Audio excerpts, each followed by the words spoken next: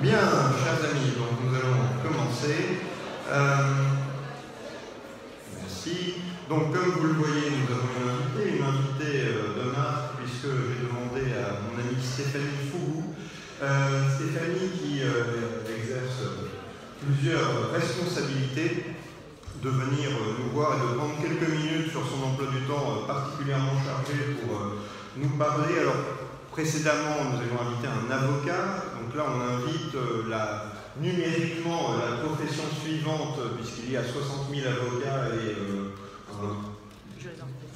18 000, il y en a 1000 qui ont disparu euh, d'après mes statistiques. Donc 18 000 juristes d'entreprise en France, c'est la seconde profession termes d'importance. Et c'est une profession qui va concerner, cependant, je crois, beaucoup plus de gens, parce que les entreprises ont de plus en plus besoin de droit. Alors Stéphanie, tu peux nous donner un instant ton parcours pour que les étudiants comprennent que, mais euh, enfin voilà, tu le sais, euh, pour que les étudiants comprennent que euh, juriste d'entreprise, ça n'est pas le métier qu'on fait par défaut, sans formation, et parce que, ce que j'entends des fois, on est trop timide pour être avocat et parce que on se dit non, je vais avoir du mal à plaider devant les juges, donc je préfère aller en entreprise, personne ne va m'embêter.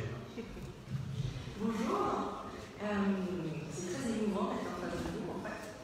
Euh, vous êtes un peu la génération qui arrive et qui va venir faire son métier, j'espère.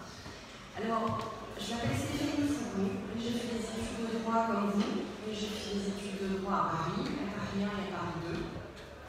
Euh, j'ai fait des études de droit qu'on appelait à l'époque, qui est maintenant Master 2, j'ai fait du droit communautaire et j'ai fait du droit propriété ça n'a pas grand-chose à voir avec mon parcours après. J'ai commencé assez rapidement en fait, à travailler. Euh, dès euh, mon premier master 2, on va dire, j'ai commencé à faire des stages en entreprise. À l'époque, je travaillais chez TF1. J'avais trouvé un CDD chez TF1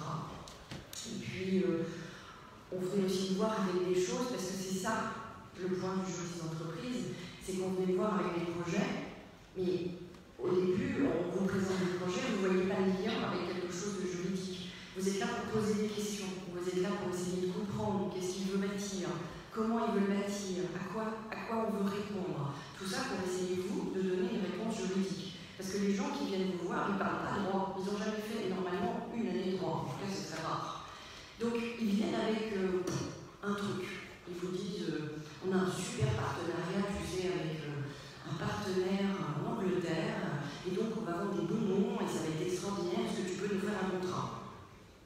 Alors là, vous savez pas, c'est quoi? C'est un contrat de distribution, c'est un contrat de référencement, c'est un partenariat, comment est-ce que ça va se répartir, quelles sont les recettes? Donc c'est ça que vous vous posez comme question.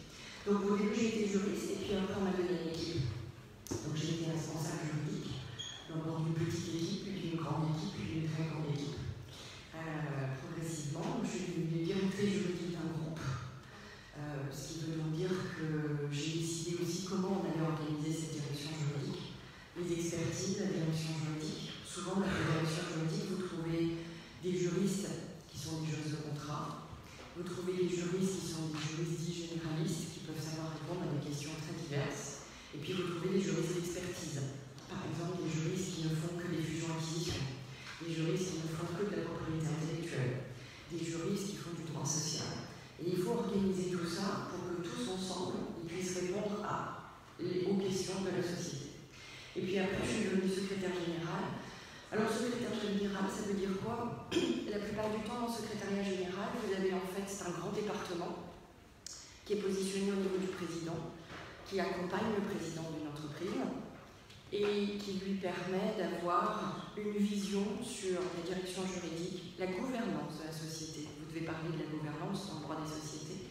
La gouvernance des sociétés est devenue quelque chose de très important pour les sociétés cotées et pour les sociétés non cotées.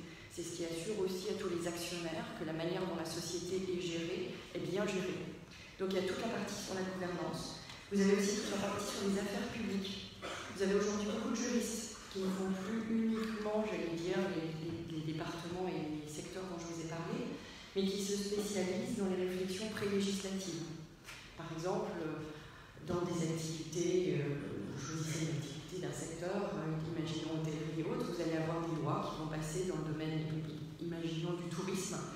Ces juristes-là vont travailler sur toutes les lois, tous les projets de loi, et vont travailler sur toute la rédaction donc ils vont travailler auprès des députés, auprès des sénateurs, et ils vont faire des propositions pour que les lois soient le plus adaptées à la manière de fonctionner d'une entreprise et que ça permette à une entreprise d'être compétitive. Donc souvent, vous avez ce troisième département qui sont les affaires publiques. Vous avez aussi en fonction des, euh, des types d'activités dans lesquelles vous êtes du réglementaire. Vous savez qu'il y a certains domaines qui sont très réglementés. La pharmacie, par exemple, la banque, sont des domaines très réglementés. Donc vous avez des autorités de réglementation et de régulation. Et donc il faut savoir suivre leurs règles qui vont au-delà du droit commun. Et puis euh, vous avez après, en fonction euh, de la dimension de l'entreprise, vous pouvez avoir des activités relatives à l'audit ou des activités, j'allais dire, transverses sur ce qu'on appelle la gestion du risque. C'est quelque chose qui est devenu de plus en plus important. Et parfois, vous avez des juristes, mais aussi d'autres types de personnes et d'autres types de profils qui vont travailler sur la gestion du risque. Vous avez dû entendre de plus en plus, j'imagine, au travers de vos études, on parle beaucoup de compliance ou de conformité. Vous savez qu'il y a une agence qui a été créée fin 2016, début 2017 en France, qui est l'agence de lutte contre la corruption, euh, qui est là pour justement redonner un certain nombre d'obligations aux sociétés, pour leur rappeler qu'il est important de lutter contre la corruption, la corruption en France, mais aussi la corruption à l'étranger, dans le cadre de leurs activités. Et donc vous avez des juristes sont spécialisés pour nous aider chaque jour dans le cadre de nos activités professionnelles, dans le cadre de nos partenariats avec des pays parfois sensibles, avec des environnements sensibles, pour évaluer quel est le niveau de risque qu'une société peut prendre. Vous avez des risques juridiques et puis vous avez des risques médiatiques travailler avec euh, certains types d'environnements parfois un peu, euh, un peu critiqués, un peu mis en cause, un peu questionnés. Et vous devez avoir une analyse, une analyse factuelle qui vous permet de dire est-ce que vraiment on est dans un cas de corruption, est-ce qu'on n'est pas dans un cas de corruption, est-ce que ce sont des présomptions de corruption, et donc comment la société peut-elle se présenter par rapport à ça? Donc voilà ce que c'est que le secrétariat général, dont le, j'allais dire, le pilier principal est bien la direction politique. Merci. Alors, il y a quelque chose qui est intéressant dans ce que tu dis aussi, c'est qu'on comprend qu'à côté de la formation de juriste euh, que vous recevez à l'université, il y a un aspect de gestion d'équipe parce que tu as été amené du coup à diriger des équipes de plusieurs dizaines de personnes, vraisemblablement plus que plusieurs dizaines. Ça, c'est des choses que tu avais apprises à l'université? Tu as suivi le cours de gestion, de, direction juridique? C'est ça. Tu t'es formé comment? Pas du tout. Alors, il y a quelques petites choses que je n'ai pas du tout, du tout appris à l'université. Je ne sais pas si progressivement ça se fait, je ne le connais pas encore. Alors, il y a le management. Alors, déjà, je voudrais dire une chose, c'est que c'est pas parce que vous n'avez pas managé éventuellement dans votre vie que vous êtes raté.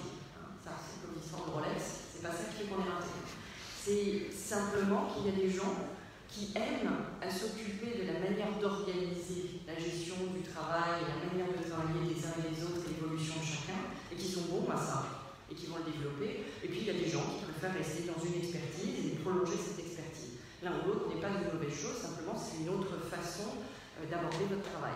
Alors le management, c'est quelque chose qui peut s'appliquer aux directions juridiques comme ailleurs. Le management, c'est vraiment aimer les gens. C'est aimer les gens, c'est apprécier la qualité de chacun, essayer de faire ressortir ce dont quoi les gens sont les meilleurs, et donc typiquement dans votre dans vos compétences juridiques, ce dont quoi vous allez vraiment être bon, et en quoi, comment je vais organiser vos compétences pour que ça corresponde aux besoins de l'entreprise. Concrètement, dans une entreprise, par exemple, euh, comme celle où j'ai pu travailler, si vous avez besoin de gens très bons dans la partie euh, télévision, si vous avez besoin de gens très bons propriétés artistiques, de gens très bons propriétés intellectuelles, comment est-ce que vous allez vous organiser pour répondre aux besoins de l'entreprise? Et comment vous allez mettre en mouvement tous ces gens? Quand vous allez dans des entreprises très grandes du CAC 40 par exemple, moi j'ai été dans des entreprises où j'avais 350 juristes à gérer. 350 juristes, il faut de facto que vous mettiez tout ça en mouvement et devant les professionnels, donc devant un directeur du marketing, devant un directeur de la marque, vous n'allez pas lui dire alors j'ai Clémence, Benoît, Thibault euh, et Valérie qui vont venir euh, t'expliquer comment ça fonctionne. Non, vous allez en choisir un et face à ce un, il va travailler avec les autres. Donc il va falloir s'organiser pour qu'à chaque demande, il y ait un interlocuteur et que cet interlocuteur-là sache travailler avec les autres. Donc ça, c'est souvent ce qu'on apprend bah, un peu sur le tas, malheureusement. Euh, les entreprises vous forment à ça. Vous avez aussi des accompagnements, ce qu'on appelle du coaching. On vous aide aussi à apprendre comment manager, euh, comment être un bon manager, comment faire sortir le meilleur des gens, comment les emmener loin, comment leur donner une vision, leur donner envie d'aller quelque part et leur raconter l'histoire de l'entreprise pour qu'ils se mettent en mouvement pour ça. Donc ça, non, je n'ai pas appris, euh, je n'ai pas appris à l'université. Il y a plein de choses qu'on apprend pas à l'université. Oui, d'où notre conseil commun de faire des stages dès que vous le pouvez. ça, je l'ai déjà dit, mais je le répète parce que c'est quelque chose qu'on ne vous dit pas suffisamment. Ce n'est qu'en faisant des stages que vous comprenez vraiment comment les compétences que vous êtes en train d'acquérir, eh bien, vous allez les mettre en valeur, comment vous allez vous rendre utile, comment vous allez aussi voir, c'est pas comment vous allez, c'est vous allez aussi du coup voir fonctionner concrètement ce qu'on est en train de voir et ce qu'on est en train de voir prendra du coup une grande valeur. Et euh, le dernier point que je voulais qu'on évoque ensemble, c'était euh, tout droit devant. Tout droit devant, je le présente, euh, mais tu vas le faire bien mieux que moi. tout droit devant, c'est un mouvement qui s'est créé l'année dernière, qui vise à rapprocher les différentes professions du droit et c'est un mouvement auquel un certain nombre d'étudiants en droit ont déjà adhéré. Ce n'est pas un mouvement politique, hein, c'est un, on pourrait dire un mouvement euh, transprofessionnel euh, et donc mouvement qui a été créé à ton initiative. Merci. Euh, oui, alors juste pour vous dire, donc, dans mes heures perdues, je suis présidente d'une association qui s'appelle l'Association française des juristes d'entreprise. Alors, je pense que ça peut vous intéresser parce que l'Association française des juristes d'entreprise, c'est celle qui aide en fait euh, la formation, l'évolution des juristes d'entreprise et qui fait en sorte qu'il y ait un vrai réseau des juristes d'entreprise. On a dit au tout début qu'il y avait 18 000 juristes d'entreprise en France, 66 000 avocats, 18 000 juristes d'entreprise en France. C'est énorme, hein, 18 000 juristes d'entreprise en France. Et ça croît énormément chaque année, parce que comme vous avez pu le remarquer, vous êtes dans un domaine qui est un domaine à forte valeur ajoutée, vous êtes dans un domaine qui a beaucoup de potentiel. Bravo pour choisir cette filière. Maintenant, être juriste d'entreprise aujourd'hui, ça veut dire plein de choses. Les choses évoluent. Vous devez entendre parler des legal tech. Alors, s'il vous plaît, ne faites pas comme un certain nombre de personnes que je rencontre. N'ayez pas peur des legal tech. Ne vous dites pas les legal tech vont piquer mon boulot. Non, les legal tech ne piquent le boulot de personne. Au pire, elles enlèvent le boulot qui était redondant et on s'ennuyait fondamentalement. Je peux vous dire qu'il y a 25 ans, quand moi je devais regarder les petites clauses les unes derrière les autres pour faire des copier-coller dans des dans ce qu'on appelle le due diligence quand vous faites par exemple une opération fusion-acquisition. Honnêtement, si un robot peut aller vous les extirper, vous en êtes bien content. En revanche, que vous fassiez marcher votre intelligence pour apprécier ce qu'il y a dans ces clauses et ce que vous en pensez, ça c'est génial. Que les legal tech nous permettent à tous, tous les citoyens, d'avoir accès à des informations, c'est-à-dire accès à la jurisprudence, c'est super. Ne pas payer 10 000 euros à un avocat simplement parce qu'il est capable de trouver une cour d'appel dans laquelle il va aller chercher l'arrêt, on n'en veut pas ça. En revanche, tout le monde peut y avoir accès. Mais demain, si tout le monde y a accès, ça veut dire que vous, vous devez être encore plus brillant pour expliquer au kidam qui va avoir accès à ça ce que ça veut dire. Il va falloir lui expliquer ça, il va falloir lui dire ça correspond à ça. Donc vous êtes dans un domaine absolument génial qui me fait me croître. Moi, ça fait 22 ans que je fais ce métier, ça ne fait qu'évoluer. J'ai de plus en plus de juristes dans des domaines très différents. Et malheureusement, pour un certain nombre de dirigeants, parce que je peux vous dire pas toujours euh, d'avoir tant de droits dans leur entreprise, tant de réglementations et d'obligations. Donc ça, c'est votre opportunité. Après, l'AIGE, je le dis juste au passage, on a créé exprès pour les étudiants des tarifs euh, hyper attractifs genre un truc autour de 50-60 euros à l'année pour que vous puissiez être adhérent. Et l'idée, c'est surtout de vous faire rencontrer des gens. Si vous voulez rencontrer des gens qui ont de l'expérience, qui ont moins d'expérience, plus d'expérience que vous, des gens qui sont dans des domaines différents, si vous voulez participer à des colloques, si vous voulez venir voir ce que c'est que le domaine du juriste d'entreprise, à quoi ça correspond, vous pouvez faire partie de ce réseau. Il a été ouvert pour vous, pour tous les étudiants, pour permettre justement à tous les gens qui ont envie peut-être un jour de devenir juriste d'entreprise de mieux connaître. Alors après, pourquoi est-ce qu'on a fait ce mouvement, comme disait Bruno, qui s'appelle Tout droit devant Alors c'est très simple. C'est qu'en France, une fois qu'on a dit qu'on avait des très bonnes études, on avait des très bons profs, et pas du tout plaisir à Bruno, mais c'est dit dans le monde entier. On a de super études, on a de super profs, on a un niveau judiciaire qui est très élevé, on a des tribunaux qui rendent des belles décisions, on a un niveau de compétence qui est très élevé, et on a un niveau d'entreprise qui est très compétitif et de très belles entreprises en France. Le problème, c'est qu'une fois qu'on a dit ça, on a quand même aussi quelques petits défauts. Alors, les quelques petits défauts, c'est que, un, comme on disait tout à l'heure, souvent, vous n'êtes pas assez dans le monde réel.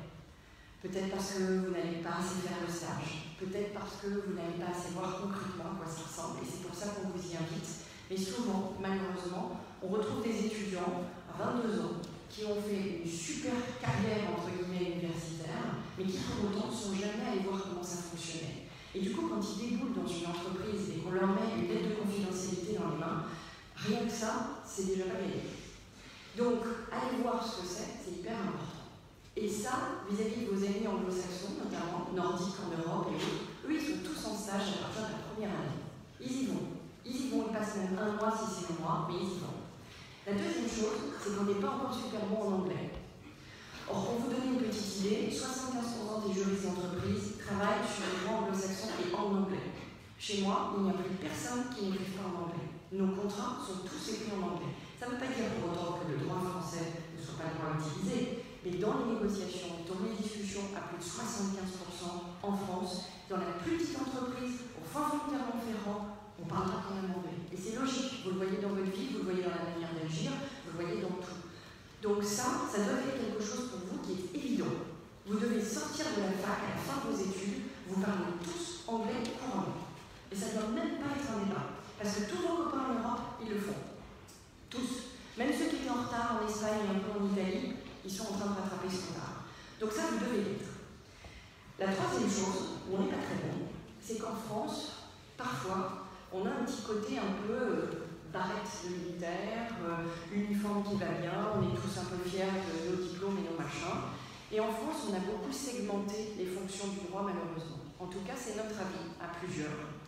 C'est qu'on a beaucoup segmenté ça. C'est-à-dire, on ne vous a pas offert, nous en tout cas, on nous a moins offert à notre époque, de pouvoir utiliser toutes les opportunités des métiers du droit. Quand vous sortez de la fac, vous pouvez être juriste d'entreprise, être avocat, vous pouvez être magistrat, vous pouvez être huissier, vous pouvez être notaire, vous pouvez faire des tonnes de choses. La réalité, c'est qu'en France, la manière dont les choses sont bâties, vous allez vite être amené à devoir faire des choix de métier. Et ça, nous, on est nombreux à penser que c'est dommage. Voilà, au début, on est tous sur les mêmes bancs, vous êtes tous ensemble. Et puis, vous allez aller vers certaines carrières. Ce pourquoi tout, tout droit devant a été créé, c'est pour que tous ensemble, les jeunes, les moins jeunes, les plus vieux comme nous, on essaie de donner des propositions au gouvernement pour lui dire essayez de fluidifier ça. Je vous donne un exemple si vous êtes aux États-Unis ou au Canada. Vous êtes au Canada, vous finissez vos études, vous êtes ce qu'on appelle lawyer. Un lawyer, ça peut aller où ça veut. Si ça a envie de travailler en entreprise, ça travaille en entreprise. Et si demain il veut lâcher son environnement, je vais dire avocat, et il va aller en magistrature, il ira en magistrature. Chez nous, c'est un peu plus compliqué. Ça ne veut pas dire que c'est mauvais, ça ne veut pas dire que les études sont pas bonnes, elles le sont, mais c'est plus compliqué pour passer d'un endroit à l'autre. Alors aujourd'hui, on en voit. Moi, j'ai beaucoup de juristes d'entreprise qui deviennent juges en tribunal de commerce. Euh, on a beaucoup d'avocats. Un tiers des avocats, au bout de 5 ans de cabinet d'avocats, passent en entreprise. Et pas comme on disait tout à l'heure, parce qu'on y bosse moins et autres, ça, ils sont très très déçus. Mais pas simplement parce qu'ils peuvent prendre des responsabilités plus vite. Ils arriveront plus vite avec quelque part ce qu'on appelle associé partner. Dans l'entreprise, ils vont vite manager. Ils vont vite avoir la capacité d'être dans les dossiers. Ils vont être au sein même de la stratégie de l'entreprise. Tout ça, la raison pour laquelle on a bâti tout droit devant, c'est pour que vous ayez plus d'opportunités pour fluidifier ces carrières et ces passages d'une certaine carrière à une autre. Alors, je vous fais un peu un appel. C'est que j'ai aussi un peu besoin de vous. Nous, on se bat avec, j'allais dire, notre âge, notre profession, et ça, relève de ce qu'on estime être notre obligation, nous, moi, d'autres personnes. On est une cinquantaine à avoir fondé ce mouvement pour justement remettre au gouvernement des propositions. Et en fin d'année, là, on va faire ce qu'on appelle un Grenelle.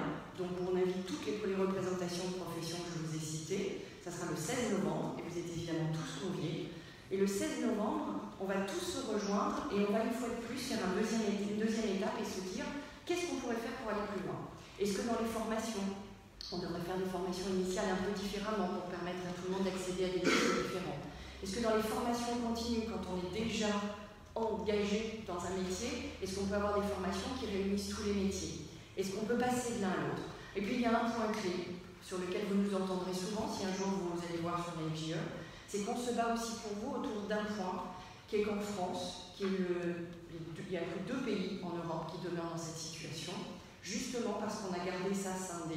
Les juristes d'entreprise, au moment où ils rentrent en entreprise, perdent alors qu'ils l'avaient lorsqu'ils étaient avocats, perdent le secret professionnel. Ils n'ont plus le droit de l'utiliser. Ce qui pose énormément de problèmes lorsque vous êtes en entreprise, parce que malheureusement, du coup, vous êtes garant d'un secret, mais vous n'arrivez pas à le protéger de la même manière que l'entreprise. Alors ça aussi, On essaye de faire tomber toutes les barrières. On essaye de faire tomber toutes les barrières un peu traditionnelles qui pouvaient y avoir en France et on dit tout ça, ça doit s'arrêter. Et le juriste qui est aujourd'hui sur les bancs de la fac, ben, demain, il doit pouvoir choisir le métier qu'il veut et changer comme il veut. Donc tout droit devant, c'est ça. C'est fait pour vous. C'est pas fait pour nous, parce que, nous, on a déjà fait. Mais, mais c'est fait pour vous. C'est fait pour que demain, vous vouliez prof, vous vouliez juriste, vous vouliez avocat, vous pourrez faire comme vous avez envie. Alors, regardez, rejoignez-nous, venez en Grenelle, et puis c'est vous que le gouvernement écoute. C'est vous que les gens ont envie d'écouter pour savoir si ça vous plaît, si c'est ça qui vous tente. Et nous, c'est l'idée de vous donner cette mobilité, parce qu'elle existe dans les autres pays, elle existe en Europe, et qu'il faut vous donner cette chance, parce qu'en Europe, on a un terrain de jeu formidable, et c'est ce moment-là qu'il faut que vous preniez. C'est maintenant. C'est maintenant qu'il faut que vous l'attrapiez. Et puis en plus, vous êtes sous un gouvernement qui est très favorable aux jeunes, qui a très envie de pousser ça, qui a essayé de le pousser depuis 2015. Le président, lorsqu'il était ministre de l'économie, a déjà poussé cette idée. Il est derrière, il veut le faire. Donc c'est votre moment, c'est maintenant qu'il faut y aller. Voilà. Merci beaucoup Stéphanie d'avoir pris euh, de bon temps pour euh, venir euh, exposer ces sujets devant les étudiants. et comme on va te libérer, si tu as une ou deux minutes, et je vous autorise comme je n'en prendrai pas bras bien sûr, si certains d'entre vous veulent peux prendre une ou deux minutes pour discuter avec eux dans le hall, ou si vous avez une question. Mais c'est toujours plus compliqué des questions publiques comme ça. Donc Stéphanie, ben, merci beaucoup. Hein, merci à vous, merci, c'était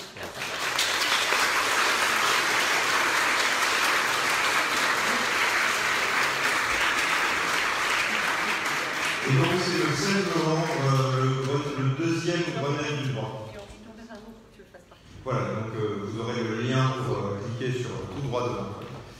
Merci beaucoup Stéphanie. Alors nous, nous reprenons, euh, voilà, tu vois, tu as déjà des fans. Nous reprenons donc sur la personnalité morale. On était, on était en train de parler l'autre fois de la dénomination sociale. Je vous ai mis une clause vendredi que vous avez peut-être regardé. J'ai pris une société un peu au hasard. Non, pas tout à fait au hasard, c'est une société, je m'y étais déjà intéressé, c'était ce fameux groupe qui s'appelle le Média. Bon, on ne va pas faire de politique ici, mais du seul point de vue du droit des sociétés, c'était intéressant. Alors quelqu'un me demande avant cela de revenir sur la théorie de l'apparence par rapport à l'objet social. Je reprends le point en 30 secondes. On avait dit l'autre fois, quand en droit des contrats, en droit commun, quand quelqu'un agit comme représentant apparent d'une autre personne, par exemple, vous avez trois appartements, vous voulez en vendre un, mais votre mandataire que vous chargez de vendre vend un autre de ces appartements.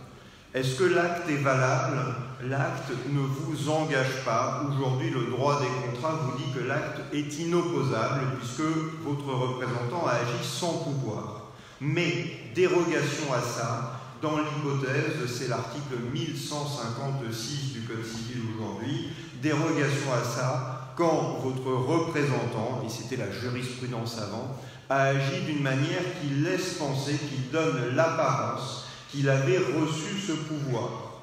Il faut qu'il y ait des éléments qui justifient que le tiers qui a acheté le bien, qui a cru acheter le bien, en réalité, en droit, il ne l'aurait pas acheté en principe, puisque le pouvoir ne portait pas sur l'appartement qui est vendu.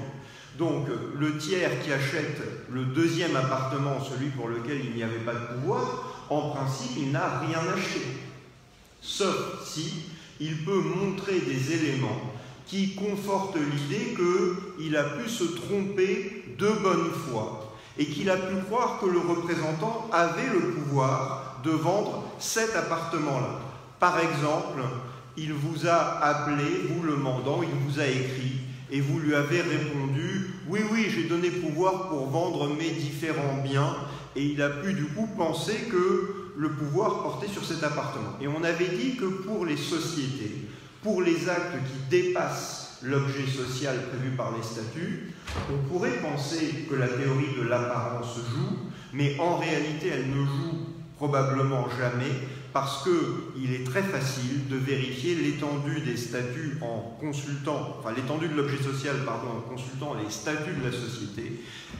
Euh, sortez, les, consultez les statuts au registre du commerce et des sociétés, et voilà pourquoi, a priori, ça devrait être très rare de pouvoir prétendre qu'on est de bonne foi.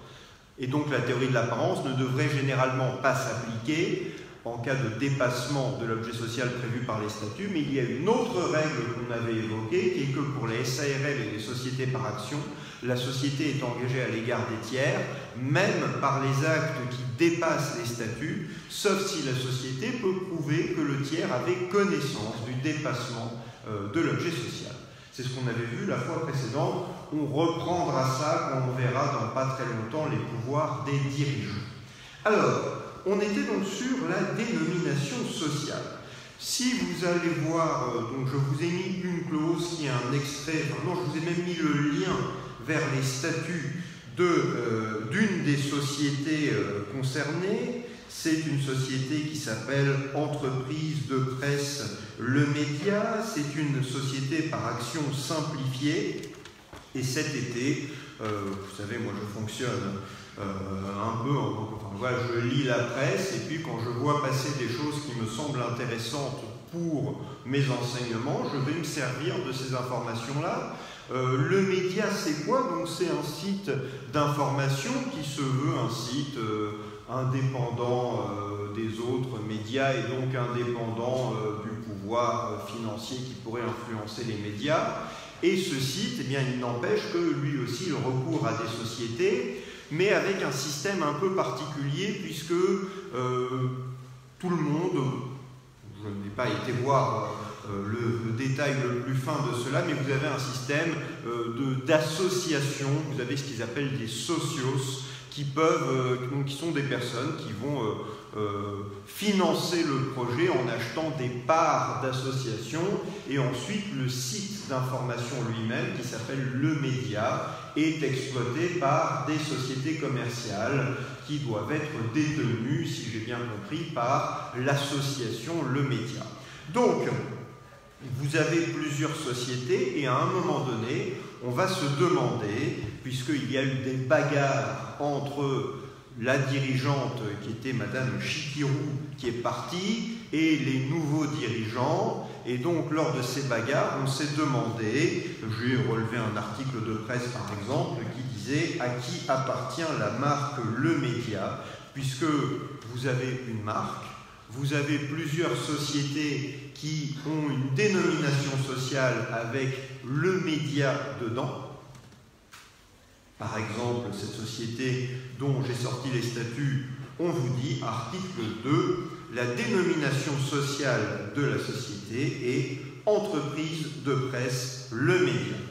Donc voilà, le nom qui a été choisi pour cette société, c'est entreprise de presse Le Média. Mais la question se pose de savoir qui est propriétaire de la marque Le Média et dans l'article de presse que j'avais trouvé, on vous disait que la marque, il y avait une capture d'écran euh, du dépôt de la marque, la marque a été, euh, le dépôt a été publié, et donc la marque est détenue par une société qui s'appelle Mediascope, qui est une société euh, dirigée par Madame Sofia Chikirou, qui est donc l'ancienne dirigeante du média. Vous comprenez où est le problème, c'est que si cette personne quitte le groupe, le média, on va se demander ce qu'il advient de la marque.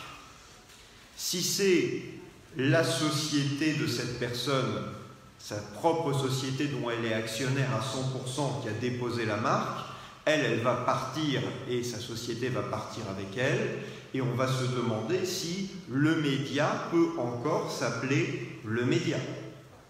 Puisque la marque qui a été déposée, ben, cette marque, pour l'exploiter, il faut avoir l'autorisation du titulaire de la marque.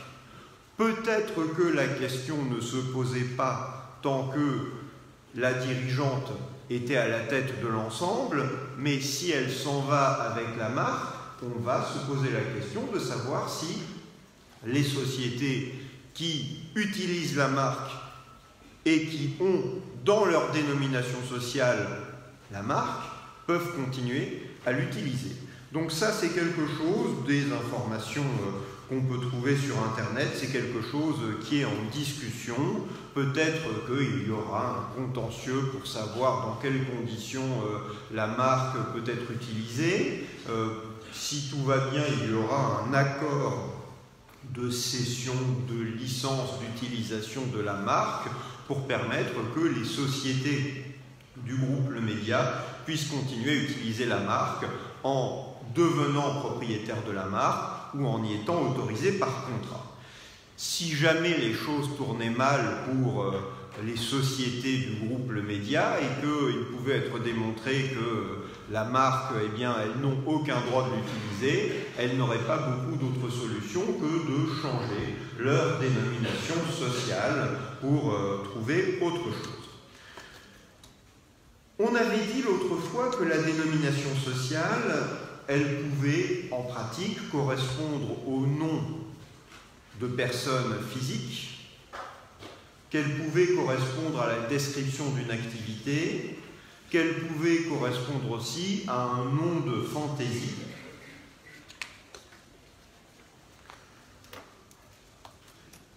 Je n'avais pas donné euh, ces quelques précisions, mais la jurisprudence euh, euh, a indiqué qu'on pouvait mettre, inclure dans un nom, dans une dénomination sociale, on peut y inclure certains signes qu'on appelle alphanumériques, comme par exemple le signe arrobase peut être inclus dans une dénomination sociale. De même, des astérisques ou des slash peuvent être inclus dans une dénomination sociale.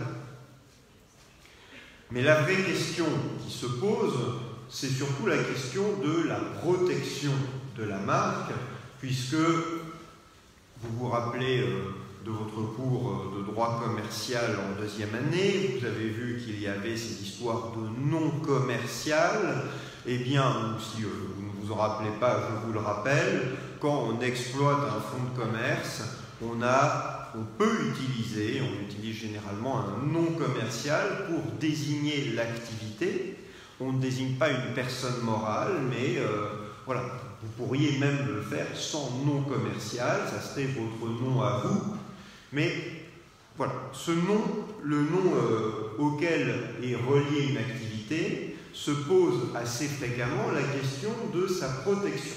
Quelqu'un veut utiliser un nom, est-ce qu'il n'est pas déjà utilisé par quelqu'un d'autre? Et là où c'est un peu compliqué, c'est que on n'a pas ou de manière dont on a peu de règles sur la protection de la dénomination sociale dans la loi. Dans le droit des sociétés, on vous dit quoi? On vous dit simplement que la dénomination sociale doit figurer dans les statuts. Si je prends l'article 1835 du Code civil, on vous dit les statuts doivent, l'appellation. Donc on vous dit qu'il faut faire figurer l'appellation, c'est-à-dire la dénomination sociale, article 1835, dans les statuts de la société. Donc de ce point de vue-là, le message a été entendu par ceux qui ont rédigé les statuts de l'entreprise de presse Le Métier. Au-delà de ça, qu'est-ce qu'on nous dit?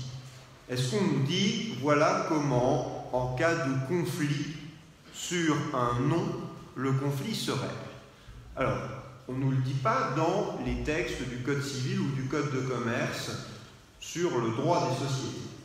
Premier élément, la jurisprudence considère qu'en cas de conflit sur une dénomination sociale, on donne on reconnaît la priorité à celui qui utilisait le premier la dénomination sociale. Donc la société qui la première utilise une dénomination sociale est celle qui a le plus de droits.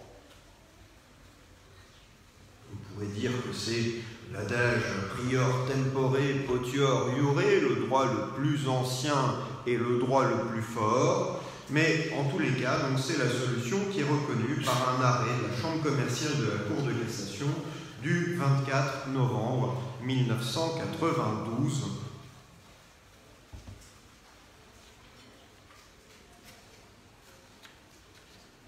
Donc, règle d'antériorité. Et puis, vous trouvez quelques références à la dénomination sociale dans le Code de la propriété intellectuelle.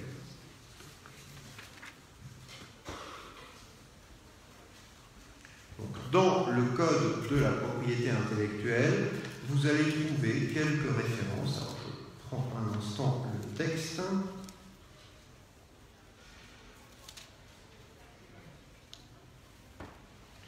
Voilà, donc c'est dans l'article L713-6 du Code de la propriété intellectuelle, donc L713-6 du Code de la propriété intellectuelle, on vous dit que, on vous parle de la marque, et on vous dit que l'enregistrement d'une marque n'empêche pas qu'on utilise le signe qui correspond à la marque comme dénomination sociale. Est-ce que ça ne sert à rien de déposer la marque, le média, si ce n'est pas pour embêter les sociétés qui pourraient s'appeler le média après Eh bien, on vous dit que non, on peut utiliser comme dénomination sociale le signe qui a été déposé comme marque dans deux cas. Soit quand l'utilisation est antérieure à l'enregistrement, donc si vous déposez une marque, mais qu'on découvre qu'il y a une société qui avait une dénomination sociale, qui était cette marque, et qui l'utilisait avant le dépôt de la marque, eh bien la société peut continuer à utiliser la marque. Et autre hypothèse qui est visée par l'article L713-6 du Code de la propriété intellectuelle, c'est le cas où un tiers de bonne, foi emploie son nom patronymique. Donc, vous pouvez déposer une marque, mais ça n'interdit pas à quelqu'un qui utilise son nom de l'utiliser. Enfin, c'est même pas de continuer à l'utiliser, c'est de continuer à l'utiliser s'il faisait avant, ou c'est de commencer à l'utiliser. Mais il doit être de bonne foi par exemple, vous ne serez pas de bonne foi si vous allez chercher quelqu'un qui porte un nom euh, de marque connue, un homonyme, c'est son nom. Il ne s'est jamais intéressé, euh, monsieur euh, Jérôme Champagne, il s'est jamais intéressé au commerce du champagne, il s'appelle monsieur Champagnier, il s'est jamais intéressé au champagne, mais vous allez lui proposer de l'associer à votre société et euh, on donne son nom à la société, à Bon Champagnier, vous êtes sûr Oui, oui, vous allez voir, ça va marcher du feu de Dieu, surtout qu'on va, le petit accent à la fin de votre nom, on va euh, le barrer, on va mettre des grosses lettres, comme ça, ça fera Champagne. Là, vous comprenez qu'on ne serait pas vraiment dans la bonne foi. Donc, vous avez ce texte qui parle de la possibilité euh, d'utiliser comme dénomination quelque chose qui une dénomination qui correspondrait pourtant à une marque déposée. Mais normalement, si vous voulez aujourd'hui constituer une société, vous avez intérêt à vérifier que personne n'a déposé comme marque la dénomination sociale que vous souhaitez utiliser. Alors sans euh, faire un cours détaillé de droit de la propriété intellectuelle, le droit euh, d'utiliser euh, une dénomination qui a été déposée comme marque, euh, il est contrôlé, il est encadré et le dépôt de la marque va concerner certains secteurs d'activité. Mais il y a des marques qui sont très connues et s'il y a un risque d'ambiguïté, enfin s'il y a un risque de confusion et qu'on pense par exemple qu'une marque très connue se lance dans un secteur nouveau qui est celui de votre société, eh bien il est possible qu'on vous empêche d'utiliser la marque. Donc vous avez une protection qui est conférée par le droit des marques. Vous avez intérêt à déposer votre, votre dénomination sociale comme marque et vous avez intérêt aussi à vérifier avant de choisir une dénomination sociale qu'elle n'est pas déjà une marque déposée. Ça, c'est une, protection par les marques ou au regard des marques, mais c'est pas, encore une fois, il n'y a pas un régime général de protection de la dénomination sociale.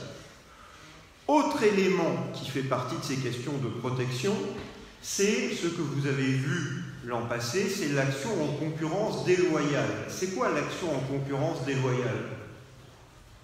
Oui C'est lorsque une, société utilise le nom et la réputation d'une autre société Alors, c'est une société, mais pas forcément une société, ça concerne plutôt une entreprise, plus largement, qui utiliserait un nom utilisé par une autre entreprise pour notamment... Une action en concurrence déloyale, c'est une action en responsabilité civile.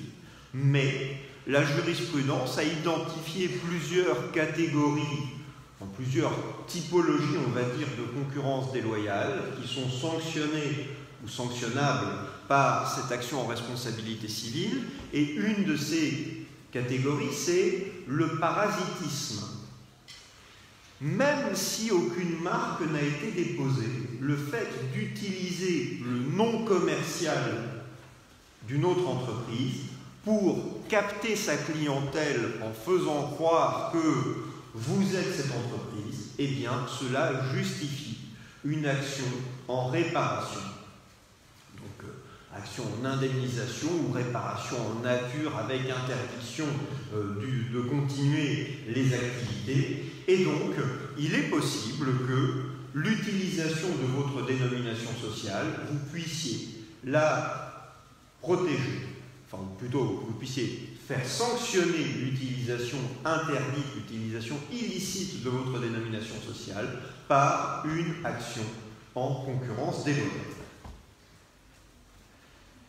Donc voilà, c'est euh, la dénomination sociale. Elle peut être protégée à la fois par le droit des marques, si elle correspond à une marque protégée, par l'action en concurrence déloyale, ou de manière plus autonome avec cet arrêt de 1992. Mais encore une fois, il n'y a pas euh, de grands textes qui disent une société a un droit absolu sur sa dénomination sociale et elle peut interdire toute utilisation postérieure par une autre société. Euh, dernier point que je voulais voir avec vous sur la dénomination sociale, question qui se pose assez souvent, c'est la question de, euh, de l'utilisation du nom d'une personne physique. C'est plutôt une question qui vient du droit des personnes. Quand on étudie le droit des personnes physiques, on étudie un peu le droit au nom si je porte un nom et que je laisse une société l'utiliser, est-ce que je peux ensuite, quand j'arrête, quand je vends la société, ou quand je... c'est essentiellement quand je vends la société, mais euh, on, ne fait, pas ça, euh, fait pas ça de manière euh, libre. Si je vends la société, je constitue la société Dondero par exemple, c'est une société qui va travailler pendant 15 ans dans un secteur euh, particulier. Quelqu'un me rachète mes actions. Il me rachète mes actions, il a envie de faire savoir que la société qu'il a achetée, c'est la société Dondero, qui est une société connue dans son secteur. Donc c'est important pour lui de garder le nom. Si la société du jour au lendemain change de nom et que moi je continue, je fais une nouvelle société Dondero, les gens ne vont pas comprendre et lui risque d'avoir acheté rien du tout en fait. Il va avoir acheté une société qui va perdre ses clients ou une grande partie de ses clients. Donc c'est important que on ait assuré la possibilité pour la société de continuer à utiliser le nom. Mais si on y réfléchit, est-ce que une personne physique n'a pas un droit absolu sur son nom? La réponse est donnée par un arrêt de la Cour de cassation, vraiment dans le genre de situation que je viens de décrire. C'est un arrêt de 1985, arrêt de la Chambre commerciale du 12 mars 1985, c'est l'arrêt qu'on appelle, alors aujourd'hui sur Légifrance c'est l'arrêt X ou l'arrêt Y, mais c'est l'arrêt Bordas, B-O-R-D-A-S. Donc la société Bordas, c'est une société d'édition, et cette société Bordas, il y a un associé qui la quitte, qui s'appelle Monsieur Pierre Bordas, et il se dit, mais moi, mon nom, je ne veux pas que la société continue à l'utiliser puisque je ne suis plus dans la société. Et donc il demande en justice qu'il soit fait interdiction à la société d'utiliser le nom Bordas. Est-ce que cela serait possible qu'il autorise la société à utiliser son nom? Oui, et la Cour de cassation commence par le dire. Mais ensuite, la question se pose de savoir si, en laissant la société pendant des années utiliser le nom qui était inséré dans les statuts, est-ce que la société, d'une certaine manière, a acquis un droit sur ce nom? On pourrait dire non, ça fait partie des droits fondamentaux de la personne physique elle peut interdire à quiconque d'utiliser son nom. Eh bien, cet arrêt de la Cour de cassation va dire autre chose. Il va dire qu'il y a un droit particulier qui. L'arrêt va dire que le nom s'est détaché de la personne physique qui le porte pour s'appliquer à la personne morale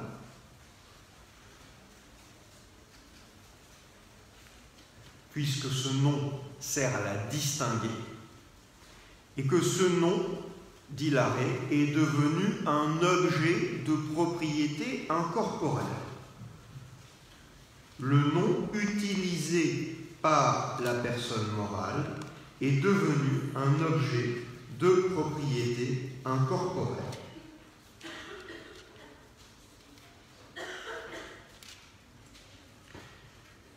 L'idée, ça veut dire quoi? Ça veut dire que même si les textes ne reconnaissent pas à la personne morale un droit sur sa dénomination sociale, cet arrêt vous dit qu'elle a acquis un droit sur le nom de la personne physique. Ça ne veut pas dire que la personne physique a perdu son nom et qu'elle s'appelle maintenant Monsieur X et que c'est pour ça que les chiffrons s'appellent comme ça. Mais ça veut dire que la société, même si Monsieur Bordas s'en va, elle garde le droit d'utiliser le nom. Et peut-être même qu'elle peut créer d'autres sociétés, des filiales, qui s'appelleront Société Bordas, elle aussi.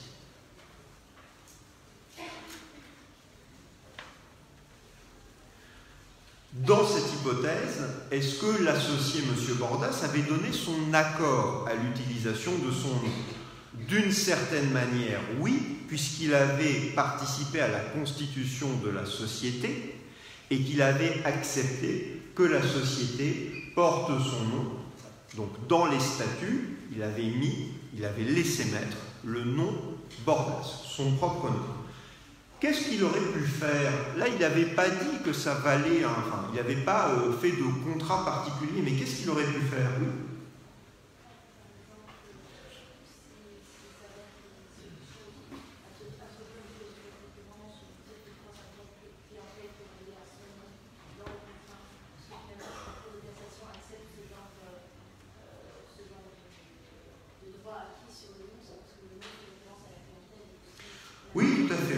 référence à la clientèle. Mais, euh, donc, si lui a une clientèle propre attachée à son nom, c'est important qu'il puisse protéger cette clientèle. Et c'est vrai que dans la situation euh, de la société Bordas, si pendant des années il travaille pour la société, ben, finalement, ses clients à lui attachés à son nom et les clients de la société, ils vont se confondre.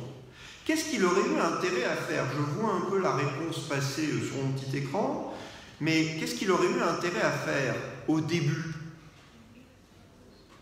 Une clause particulière ou un contrat particulier?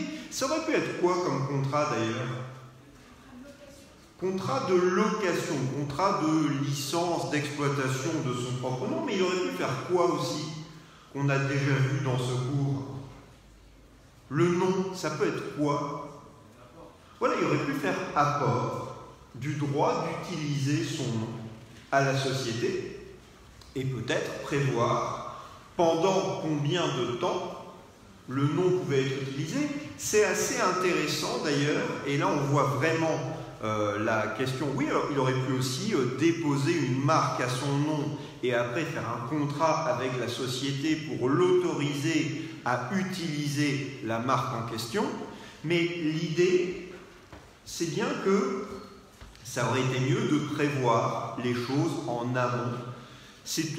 Le juriste, des fois, a un peu la tendance à dire vous auriez dû faire ça, et on n'est jamais très content quand on entend ça. Oui, ben on l'a pas fait, c'est pour ça qu'on est devant le juge, et c'est pour ça que maintenant euh, on demande des dommages d'intérêt, et c'est pour ça qu'en face ils disent que euh, c'est nous qui avons euh, pas agi conformément au droit. Mais ça aurait été bien sûr mieux de faire une convention en amont. Et ben, sur le nom, ce qui est marrant, c'est que vous voyez dans l'actualité, vous avez des situations dans lesquelles vous avez des conflits entre une société et son fondateur. J'en prends deux parce qu'ils ont attiré euh, mon attention ces dernières années, mais vous avez M.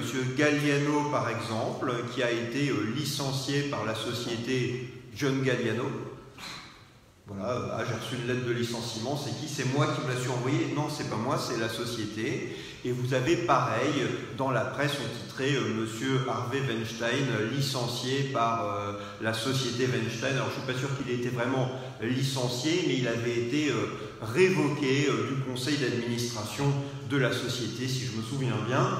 Donc vous avez une société qui porte votre nom, mais comme c'est une personne morale qui est un sujet de droit différent de vous, elle va ensuite euh, faire valoir des droits contre vous. Et donc vous avez des gens qui euh, se battent avec la société qui porte le même nom qu'eux, qui sont condamnés à payer, voilà c'est Kramer contre Kramer, non c'est Kramer contre société Kramer plus exactement, mais vous avez des gens qui effectivement... Euh, voilà, vont perdre le droit d'utiliser leur propre nom pour telle activité parce que sinon, ou ils devront l'utiliser d'une manière qui va permettre de les distinguer de la société.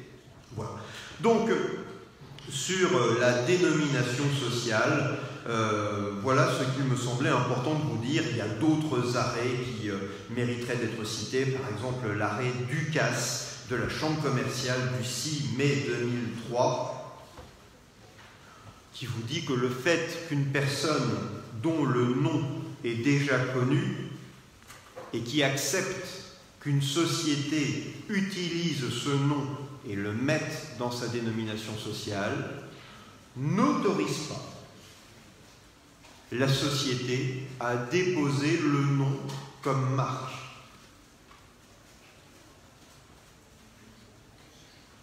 Donc M. Ducasse accepte qu'une société s'appelle société je ne sais plus quoi Ducasse. Est-ce que ça autorise la société à déposer des marques qui utilisent le nom Ducasse Réponse non. Ça autorise la société à s'appeler Ducasse et à dire dans son activité qu'elle a ce nom. Mais la différence, c'est euh, par rapport à l'arrêt Bordas, c'est que l'arrêt Ducasse, qui s'écrit D-U-C-A-2-S-E, la différence, c'est que l'arrêt Ducasse, le nom était déjà connu. L'arrêt Bordas, la société a développé son activité sur ce nom qui, sans doute, lorsque la société commence, n'est pas connu dans le monde de l'édition et va le devenir par son activité. Donc on peut dire que la société a créé quelque chose et euh, voilà, l'objet de propriété intellectuelle, il vient de ce que la société a créé sur le nom, différence avec l'arrêt du CAS, donc chambre commerciale 6 mai 2003. Premier élément secondaire qu'on a vu, c'est la dénomination sociale. Deuxième élément secondaire de la personnalité morale, c'est le siège social les personnes morales les personnes physiques ont un nom, les personnes morales ont une dénomination sociale, les personnes physiques ont un domicile, les personnes morales ont un siège social. C'est la maison de la personne morale. Là encore, ça n'est pas euh, défini par la loi, on vous dit quoi? On vous dit article 1835, on vous dit les statuts doivent euh, être établis par écrit, ils déterminent différentes choses, les apports, la forme, l'objet, l'appellation, on vient de la voir, le siège social. Donc le siège social doit figurer dans les statuts d'une société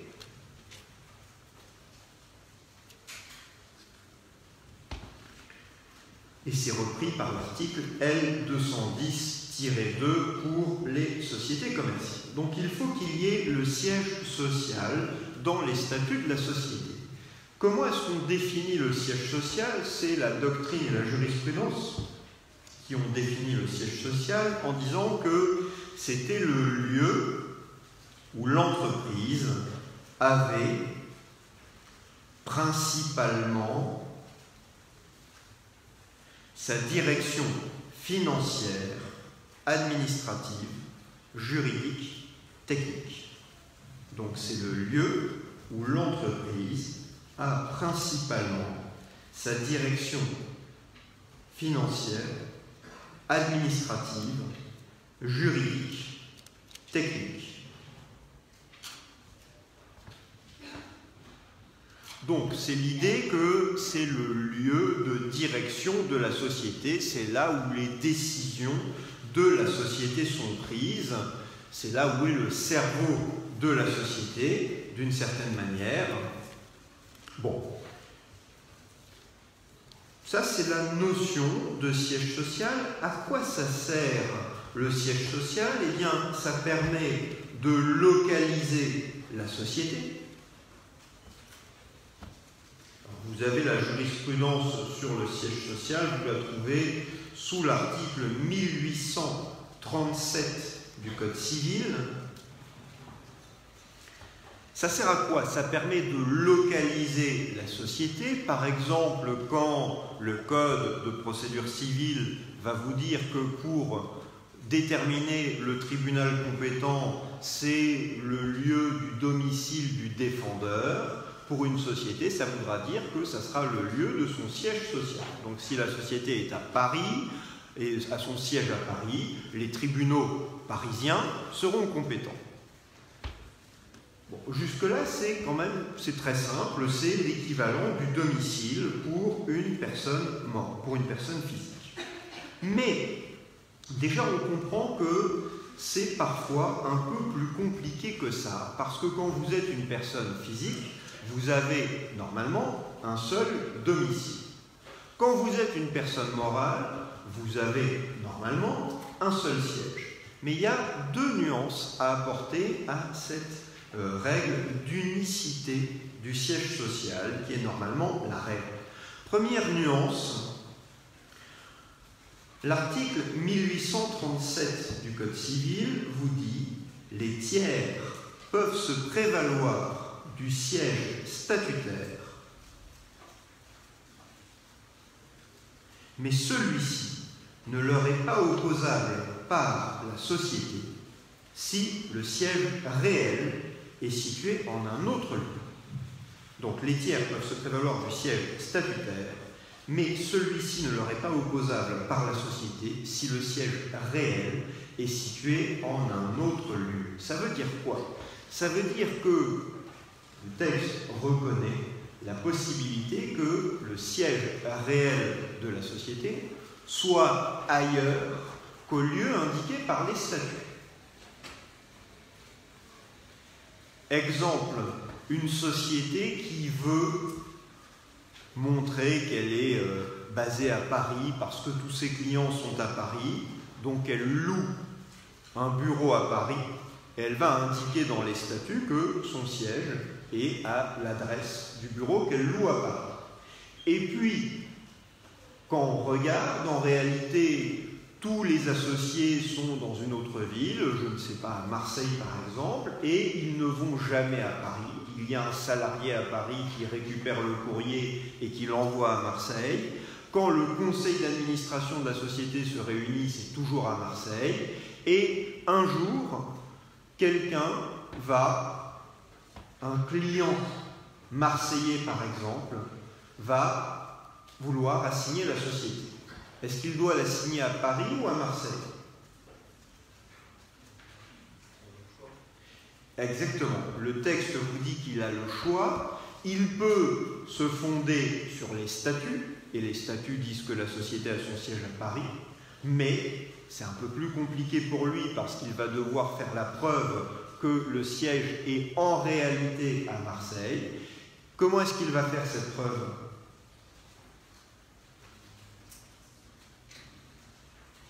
Je finis ma phrase simplement. S'il peut prouver que le siège est à Marseille, le texte vous dit que le siège statutaire, de Paris, n'est pas opposable par la société si le siège réel est situé en un autre lieu, donc à Marseille. Comment est-ce que, mettez-vous un instant dans la peau de son avocat, il vous dit on veut surtout pas aller devant les tribunaux parisiens parce que ça va nous coûter cher, parce qu'on sait qu'ils sont pas, on peut imaginer qu'ils ont une jurisprudence qui ne nous est pas favorable.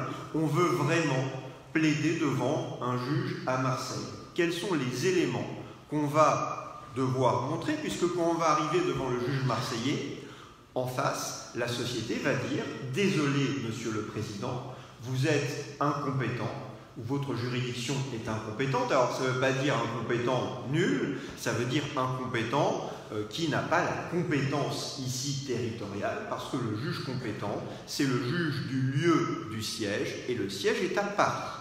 Oui, je vois passer, vous avez toute une série de cas euh, dans lesquels on ne décide pas la compétence par le siège, mais par d'autres choses comme le lieu d'exécution du contrat. Donc, euh, voilà, vous avez, euh, mais je ne rentre pas dans ce détail-là, imaginons que c'est uniquement sur le siège que se fait la compétence. Qu'est-ce qu'on va démontrer devant le juge? Oui. Voilà, on va essayer de recueillir tous les éléments de preuve pour établir que la direction de la société se tient en réalité uniquement à Marseille. Comment on fait si on a un tiers? Vous êtes un client de la société. Où est-ce que vous trouvez euh, ces éléments de preuve? Les factures, vous avez des factures de la société? Oui, si la société vous envoie une facture et qu'il y a marqué payable dans nos bureaux à Marseille, c'est un élément, c'est un indice. Mais la société va dire, bah oui, on a un entrepôt à Marseille, il y a un comptable qui est basé à Marseille. Désolé, hein, on a bien le droit d'avoir euh, une partie de notre activité à Marseille. Oui. Alors, délibération des conseils d'administration, mais ça, c'est pas public.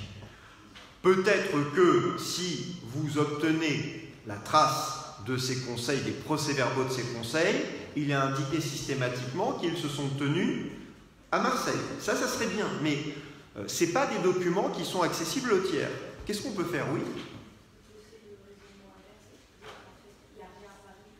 Ça, c'est une bonne idée. Prouver qu'à Paris, il n'y a rien. Prouver qu'à Paris, il y a un bureau euh, dont euh, on a obtenu le plan de l'immeuble et on sait que le bureau, c'est 12 mètres carrés. Ça n'est qu'une boîte aux lettres finalement et euh, on a peut-être l'information qu'il y a un salarié alors qu'il y en a des centaines à Marseille. Oui. On peut aussi imaginer qu'on trouve des choses dans la presse ou pourquoi pas sur le site Facebook de la société. Non mais la page Facebook de la société, ça peut être une source d'information qu'on vous écrive que la société a, euh, la page est peut-être publique pour partie, on vous écrit que la société, après le conseil d'administration qui s'est tenu à tel endroit, les administrateurs ont été conviés à un repas dans tel restaurant très connu à Marseille. Ben voilà, ça c'est un élément qui peut être intéressant pour prouver, pour amener suffisamment d'éléments qui vont convaincre le juge que le siège réel à Marseille et que donc son tribunal est compétent. Bon, donc ça c'est une règle qui est posée par l'article 1837 du Code civil. Si le siège réel n'est pas le même que le siège qui est dans les statuts, les tiers ont le choix. D'ailleurs, ça peut être compliqué parce qu'il y a peut-être deux assignations en même temps qui sont présentées à la société une au siège réel, l'autre au siège statutaire, et peut-être que des juges différents vont statuer, peut-être que certains clients assignent à Paris, d'autres à Marseille, et que des juges vont statuer sur les mêmes affaires en même temps. Vous voyez que ça peut être un inconvénient. Bon. L'autre nuance, c'est ce qu'on appelle, alors c'est une vieille jurisprudence, mais on, en trouve encore euh, des manifestations. C'est la jurisprudence qu'on appelle des gares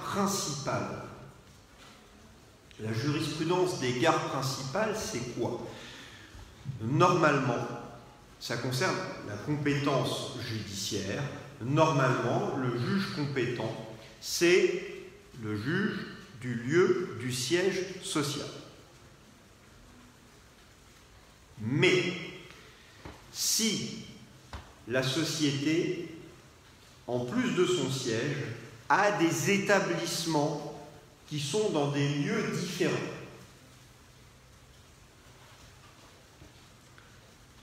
et qu'il y a un litige qui est en lien avec l'activité de l'établissement,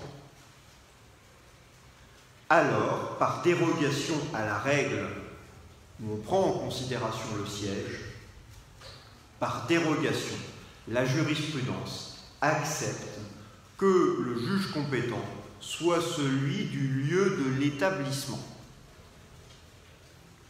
Pourquoi est-ce qu'on l'appelle jurisprudence des gares principales? Parce que c'est une jurisprudence qui va concerner au départ la SNCF, qui avait son siège, je suppose, à Paris, mais s'il y avait un litige lié à l'exploitation d'une gare particulière, eh bien on acceptait de reconnaître compétence au juge de la gare en question. Vous avez une règle qui est à peu près celle-là qu'on retrouve dans les textes de droit européen, de droit de l'Union européenne, sur la compétence judiciaire. Vous avez euh, à peu près l'équivalent, je crois que c'est dans euh, ce qu'on appelle le règlement euh, Bruxelles 1 bis, vous trouvez une règle qui est à peu près celle-là. Donc on accepte de déroger à la règle de compétence au juge du lieu du siège dans ce cas où des établissements importants existent et où le litige est en lien avec l'activité de ces établissements. Vous avez un arrêt, j'ai regardé la jurisprudence récente, euh, il n'y a pas énormément d'arrêts, mais vous avez un arrêt de la Cour d'appel de Paris du 5 avril 2018, par exemple, qui va faire application de cette jurisprudence. Dernière question qui se pose à propos du siège social, c'est la question du changement, du déplacement du lieu du siège social. Il faut distinguer, suivant que l'on déplace le siège sur le territoire national ou si on sort le siège du territoire national.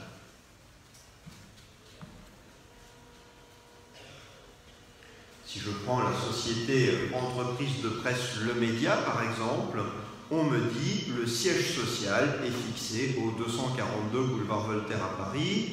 Il pourra être transféré en tout autre endroit du même département ou des départements limitrophes par décision du président qui est habilité à modifier les statuts en conséquence. Si vous regardez, si on peut un instant faire un tout petit peu de réflexion sur la manière de rédiger des statuts, est-ce que c'est bien rédigé? Il pourrait être transféré, le siège pourrait être transféré en tout autre endroit, entre parenthèses, du même département ou des départements limitrophes. Bon, c'est pas vraiment tout autre endroit. C'est à Paris ou dans un département qui touche Paris, vous pouvez déplacer le siège par décision du président. Donc si on veut mettre le siège à Nanterre, par exemple, on peut le déplacer par décision du président. Mais si on veut aller mettre le média dans une autre ville, par exemple Marseille au hasard, eh bien là, on voit que non, il pourra être transféré en tout autre endroit, ah oui, mais non, du même département ou des départements limitrophes. Petite ambiguïté dans ces statuts parce que soit c'est dans le même département ou dans les départements limitrophes, soit c'est dans tout autre endroit. En réalité, si je veux déplacer le siège à Marseille, qu'est-ce que je dois faire? Je dois modifier les statuts. Qui est compétent pour modifier les statuts? Le greffier du tribunal. Alors lui, il est compétent pour prendre acte de la modification des statuts. Mais qui la décide? C'est les associés en assemblée générale ou dans les formes qui sont prévues pour leur société. Là, si je regarde ce qui est dit pour cette société, je vais voir dans. C'est une société par action simplifiée, donc c'est les statuts qui vont nous dire comment on les modifie.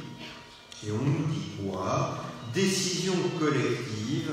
La collectivité des associés seule compétente pour prendre les décisions suivantes.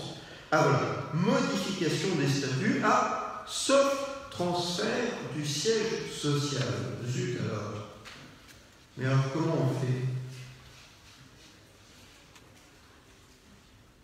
L'associé unique exerce les pouvoirs. Ça, ça c'est une société à unique. C'est également, donc il prend des décisions unilatérales à la place des assemblées, c'est également sous cette forme que doivent être prises les autres décisions de fonctionnement de la société. Je vois transfert du siège social. Moi, je suis embêté parce que si on a plusieurs associés, donc on ne sait pas finalement. On ne peut pas déplacer en l'état le siège à Marseille, puisqu'on nous dit le président peut déplacer le siège dans un département limitrophe ou dans Paris.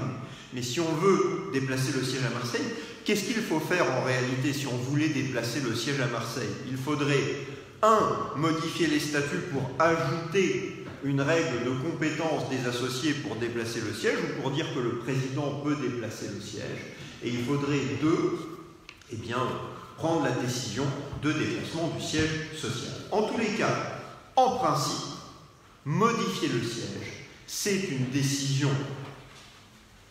Enfin, c'est pas en principe. C'est une décision de modification des statuts et en principe, ça relève de la compétence des associés puisque c'est normalement eux qui modifie les statuts. Là, on parle de déplacer le siège en France, quelque part sur le territoire français. Mais, j'ai dit, en principe, ce sont les associés. Attention, parce que la loi ou les statuts peuvent donner compétence à d'autres personnes. Pourquoi est-ce qu'on donnerait compétence à d'autres personnes? Eh bien, pour avoir de la souplesse, pour éviter d'attendre une décision de l'Assemblée qui sera peut-être longue à venir, oui.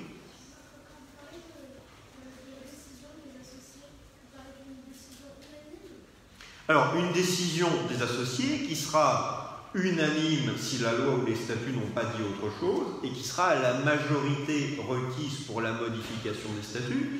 Si je prends la société anonyme, par exemple, la société anonyme, on nous dit quoi? On nous dit article L225-96, on nous dit que l'Assemblée générale extraordinaire est seule habilité à modifier les statuts dans toutes leurs dispositions. Et on nous dit quel statut a la majorité des deux tiers des voix des actionnaires présents ou représentés. Donc on a une compétence légale donnée à l'Assemblée générale extraordinaire des actionnaires qui statue à la majorité des deux tiers. Mais, petite dérogation qui a été prévue, article L225-36, le déplacement du siège social sur le territoire français, donc tout le territoire français, peut être décidé par le conseil d'administration sous réserve de ratification de cette décision par la prochaine Assemblée générale ordinaire, pas extraordinaire, ordinaire on a considéré que c'était une décision, déplacer le siège social, qui devait être prise de manière plus simple qu'avec une assemblée générale extraordinaire. Et donc on a dit, le conseil d'administration peut décider de déplacer le siège. Et quand il a pris cette décision, c'est soumis à ratification mais pas par l'Assemblée générale extraordinaire, par l'Assemblée générale ordinaire qui statue, on le verra, à la majorité simple, donc plus de 50% des actionnaires présents et représentés, et pas la majorité des deux tiers. Ça veut dire que si notre société, le média, c'était une société anonyme, elle pourrait déplacer son siège social à Marseille avec une décision des dirigeants. Ça veut dire qu'elle pourrait déplacer son siège social à Saint-Denis de la Réunion, donc à 10 heures d'avion, avec une simple décision des dirigeants. Bon, euh, on a voulu donner de la souplesse parce qu'on considère que le déplacement du siège social, c'est une mesure qui doit se faire plus rapidement qu'en attendant une AGE. Donc ça, c'est sur le changement du siège social et je termine simplement sur le déplacement à l'étranger. Si vous déplacez le siège de la société à l'étranger, c'est plus compliqué parce que ça veut dire que, et on en parlera demain on va voir la nationalité des sociétés, ça veut dire que la société, si elle a son siège à l'étranger, n'est plus soumise au droit français, mais elle est soumise à un autre droit.